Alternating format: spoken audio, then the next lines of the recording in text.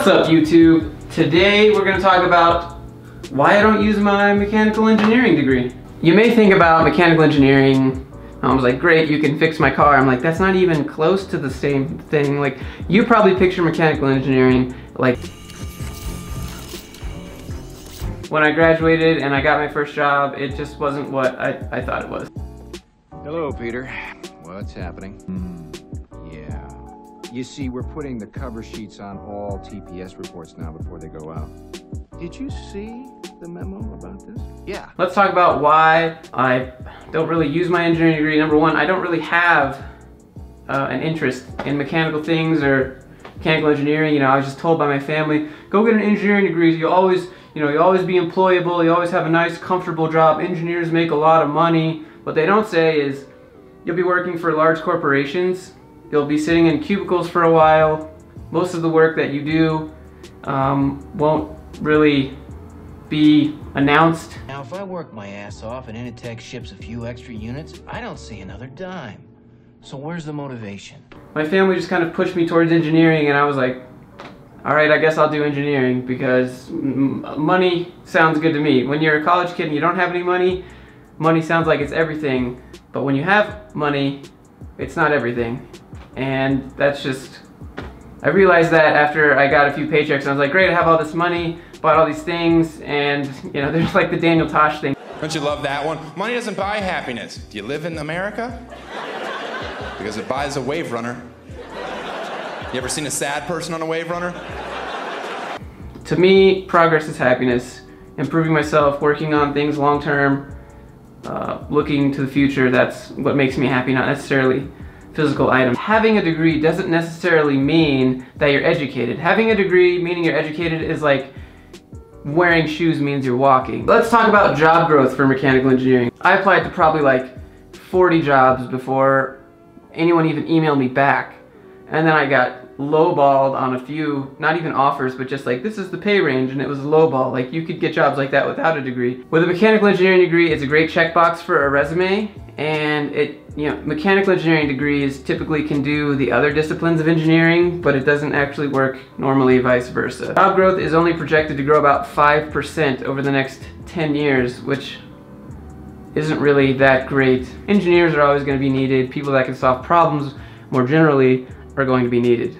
Let's talk about the mechanical engineering work environment. Typically, mechanical engineers, unless you work at a small firm doing AutoCAD work or blueprint work, you're going to be working for a corporation. And corporation typically means cubicle farm. I don't know if you've seen Office Space, but I designed my life to completely avoid that situation because I was in it and I could feel my soul being drained for the time that I was in it. You become a number. There's so many employees that you have an employee ID, you have an employee badge, you get to check in, you get to check out, you get to wear a suit and tie to work every day. Most engineering jobs don't have any real physical output unless you're doing AutoCAD or blueprint design or something like that. It's really hard to see what you've contributed to the company. If you're just a project management or maintenance, hard to see what you've made at the end of the day and feel that satisfaction. At least it was for me. Another thing with mechanical engineering is that you have limited side project possibilities. Your skills are kind of limited to your employer, consulting, opening your own firm, and there's not a lot, you know, if you have an idea, that's not, I mean, maybe you, maybe you have the skills on the side to do it, but you're just kind of stuck in that position. Let's talk about the earning cap. The median salary for mechanical engineering in the US is about $80,000 and that's the median, so that's the average, that that's not the starting and that's not the, the max. You know, the median, you know, maybe after 10 years is about $80,000.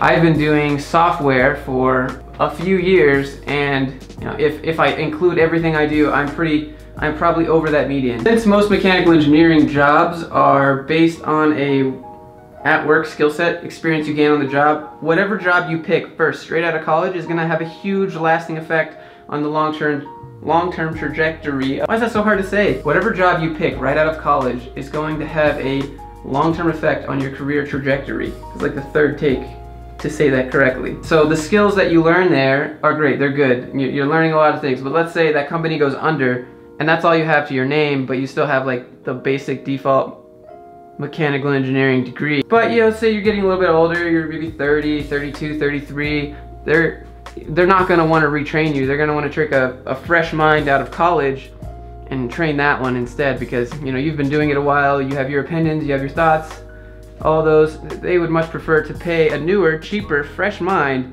than an experienced engineer even though your skill set doesn't qualify. And yes, they could teach you how to do it, and yes, you, you could learn how to do it, but you're older, you have more responsibilities, things outside work, you might not be as focused as someone just trying to start their career and get, get moving. So that was kind of a major turnoff for me also. I don't think a degree is really needed in this day and age, especially because everyone you know is getting a degree and it's just becoming more of a, okay, I spent $90,000 to have some debt and a checkbox on this resume. So whenever you see a degree required, it's kind of like a debt requirement. Okay, sure, a degree is needed if you want to do mechanical engineering and you want to build bridges. I wouldn't hire a dude to build bridges. If you didn't have an engineering degree, he's like, yo, bro, I know how to build bridges. You have a degree? No, I'll be like, okay, no, you can't. Of course, I understand the situation where you want someone who's certified, who knows what they're doing.